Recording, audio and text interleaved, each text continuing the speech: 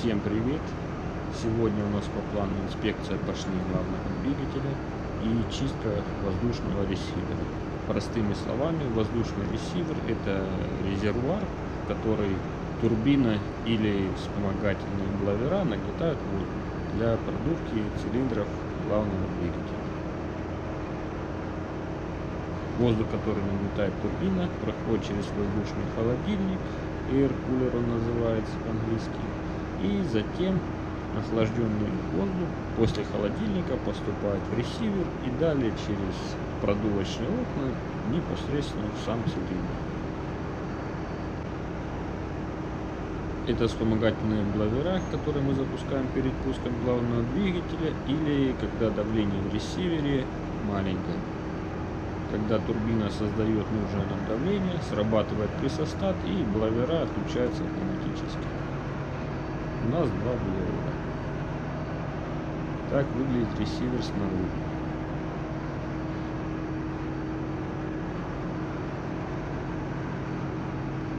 Это вход и выход охлаждающей воды на воздушный холодильник. Вода идет после низкотемпературных холодильников. Здесь у нас расположен вход в ресивер. Сейчас мы его откроем, провентилируем, почистим, сделаем инспекцию поршней. И потом я залезу, покажу, как устроен ресивер внутри. Расскажу, как делаем замеры поршней, а точнее поршневых колец. И покажу, как поступает воздух в ресивер. Почистили мы ресивер, проинспектировали и сделали замеры поршневых колец. Все у нас в норме. До того, как мы начали чистить ресивер, не стал снимать видео. Что тут снимать? Все грязно и черное, как хрен пойми где. Здесь у нас предупреждающие таблички с надписями, чтобы не закрывали дверь, пока не убедились, что внутри ресивера никого нет. И вторая надпись, перед тем, как заходить в ресивер, его необходимо провентилировать. И также по-нормальному нужно замерить уровень кислорода, но это, как показывает на практике, мало кто делает, к сожалению.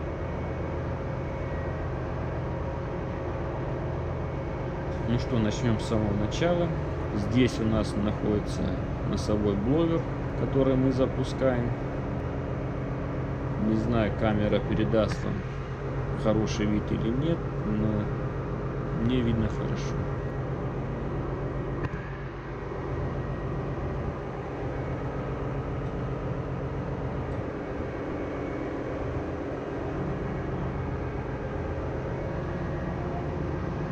Это предохранительный клапан ресивера. Какое давление он настроен, честно сказать, понятия не имею.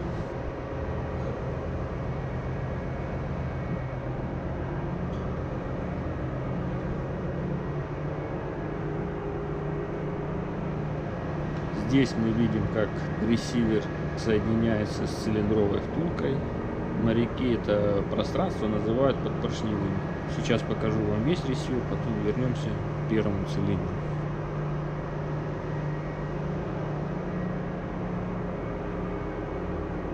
У нас 6 цилиндров, и все эти 6 подпоршневых, они идентичны друг другу.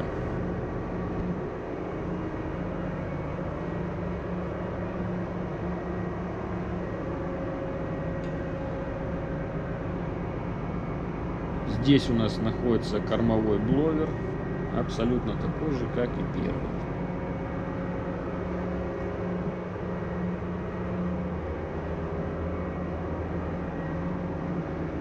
Это у нас шток местного термометра. Снаружи мы можем посмотреть температуру продувочного воздуха, который здесь находится. Одно отверстие это скорее всего для трансмиттера, а другое для pressure switch.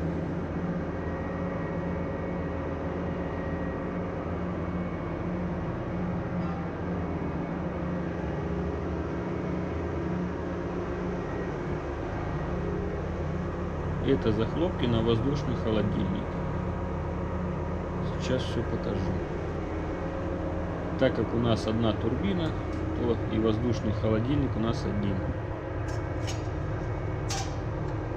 Там у нас находится холодильник. Не знаю, видно вам или нет, но покажу на всякий случай.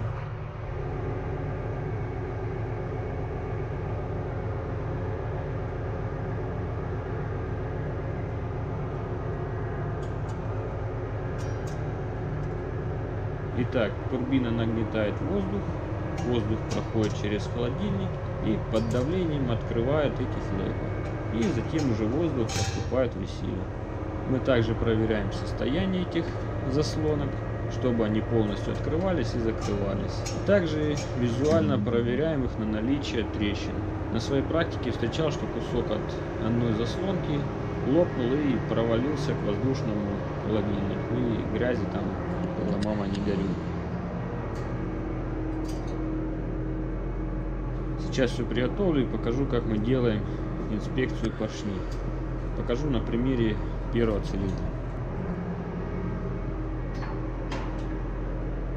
Извиняюсь, конечно, за съемку, но тут пипец как неудобно.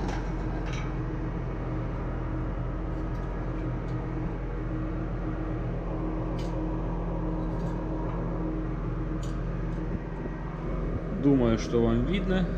Это сальник штока поршня. Stuffing box называется. Он отделяет подпоршневые от картера главного двигателя. В нем установлены специальные ножи, которые чистят шток поршня. Обзор картера главного двигателя сделаю чуть позже. Может вы его увидите в следующем видео. Так что подписывайтесь и ждите. Это сами впускные окна цилиндровой втулки. Через них воздух заходит в цилиндр, когда поршень находится в нижнем положении. А когда идет вверх, то этот, этим воздухом он продувает цилиндр. Это шток поршня. Сейчас валоповоротным устройством я опускаю поршень вниз.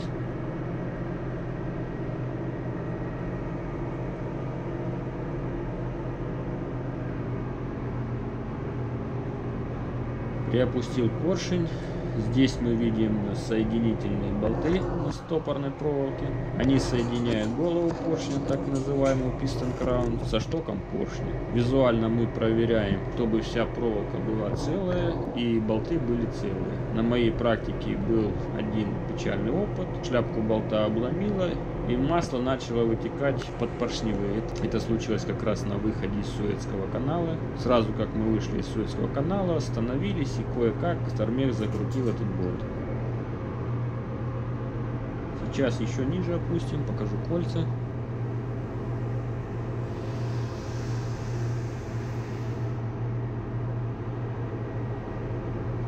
Мы видим 4 поршневых кольца нам нужно убедиться, что все кольца в подвижном состоянии.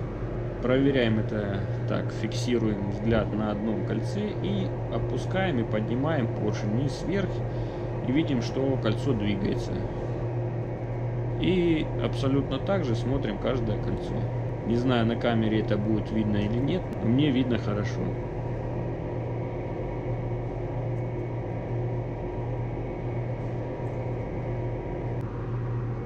Теперь переходим к замерам.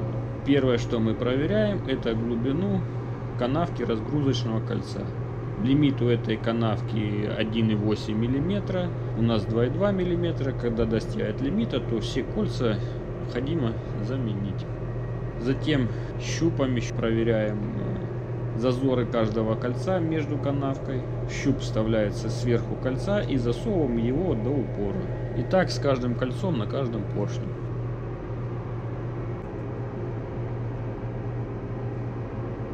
Если бы вы знали, как здесь неудобно. Ноги затекают. Также визуально, насколько можно, осматриваем кольца, чтобы они были целые. Если видим замки колец, то также смотрим, чтобы они были целые. А, также смотрим на поршень. Выше первого кольца сантиметра на 2-3 он должен быть в смазке. Если поршень сухой, то необходимо добавить цилиндрового масла на данный цилиндр. Добавляется оно на, на блоке управления альфа-лубрикаторами в ЦПУ. После того, как закончили проверять кольца, опускаем поршень и смотрим состояние головы поршня.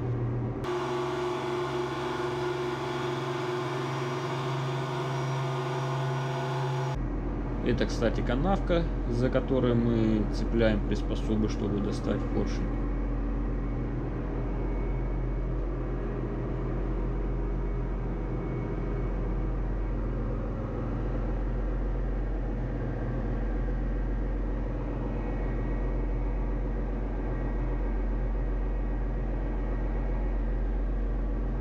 Вот поршень опущен.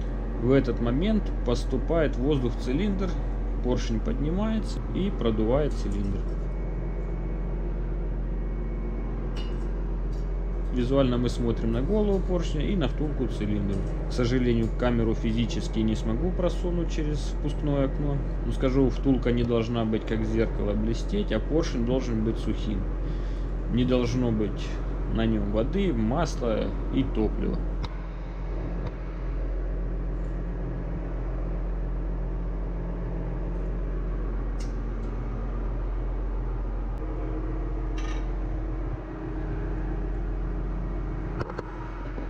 Также обвязку пистон крауна можно посмотреть с этого положения. На этом, пожалуй, закончим обзор ресивера. На днях полезем делать инспекцию картера. Будем делать замеры рамовых подшипников. Подписывайтесь на канал, скоро все увидите. А я сейчас сделаю контрольный осмотр ресивера, наличие инструментов, ветоши, а то частенько что-то да забывают и буду вылазить. Всем спасибо за просмотр, подписывайтесь на канал, делитесь видео, всем пока.